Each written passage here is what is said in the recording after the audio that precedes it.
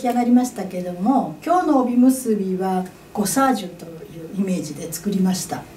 卒業式入学式の時期にコサージュのイメージがふと浮かぶんですがお着物の場合はあのまあアクセサリーとあまりねあのつけませんしコサージュなんかちょっとつけられませんけれども気持ち帯にあのその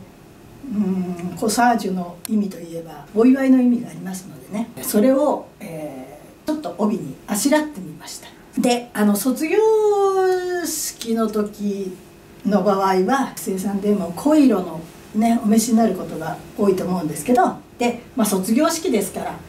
あのちょっと大きめなコサージュでいいんですよね。でお母様もあのあの付き添いのお母様もあの一緒に、ね、お子さんと一緒に、ま、毎日お弁当作った方もいらっしゃるでしょう。でそこから卒業して次のステージに行きますよ。あお祝いの意味を込めてもあのお母様もちょっと華やかめにねして。結構こういうのお持ちだと思うんですこういうのをここにちょっとあしらってこんな感じでねコサージュのイメージでちょっと華やかにして差し上げるっていう。で使わないのがあったらもったいないですかね。こう出して差し上げて。お祝いの意味ですからあの相手を思ってあのおもてなしのイメージもありますし大人としてのねあのマナーですあとこういう感じのものをねこう刺して差し上げてこうコサージュをさしてお祝いのイメージでねも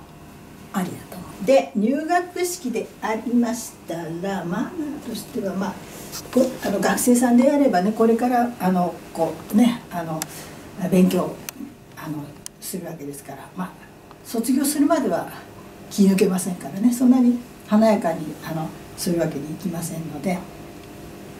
淡い淡い色のものでまあアクセサリーもそんなにつけないで真珠のネックレスにした、まあ、一連のものとかね。でこれはあのこう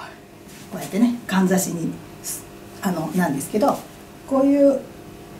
ものを入学式でちょっとあのシックめにね落ち着いた感じでこれからあの新しい門出を祝って